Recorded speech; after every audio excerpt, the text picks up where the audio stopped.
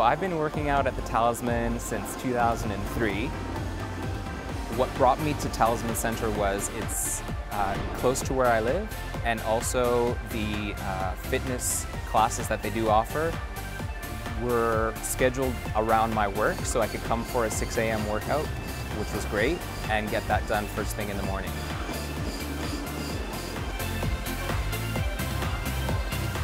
I use fitness, basically weight control and just general health. I mean, I'm 57 years old and uh, going to stay healthy. And uh, I used to have diet, try dieting all the time, and it was tough. And then I decided to start working out, and uh, it's almost addictive. If you miss your workout, you, you miss it.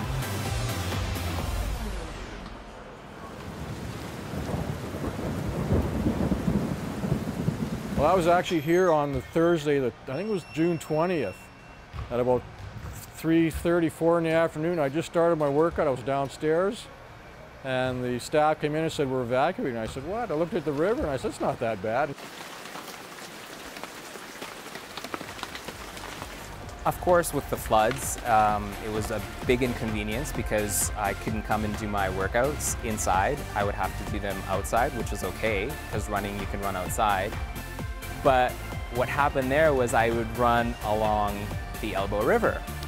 And so with the floods, hey, what happened? There goes the pedestrian bridge. There goes this trail. Oh, I can't go that.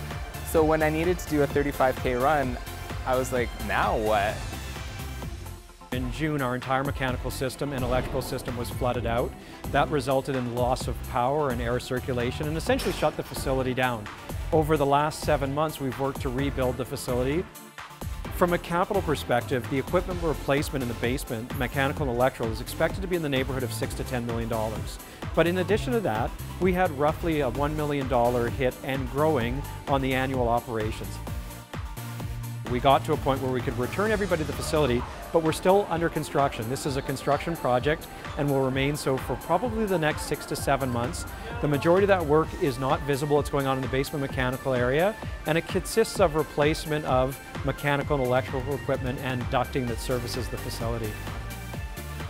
We invited our members and our stakeholders to sit down with us to hear about the impacts of the flood and where we're at today. What we really want to emphasize is the work going on to better this environment for daily users.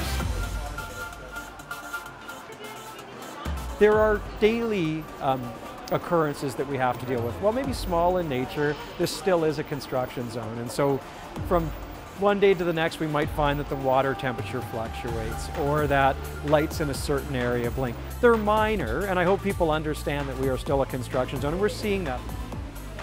They're accommodating and they're very communicative in terms of what's going to be worked on and when so that you can have minimal impact on your workouts. Been here since 1990. It's a great facility and uh, hopefully they can be open for many more years and uh, keep, keep coming new members coming down and uh, enjoying this place.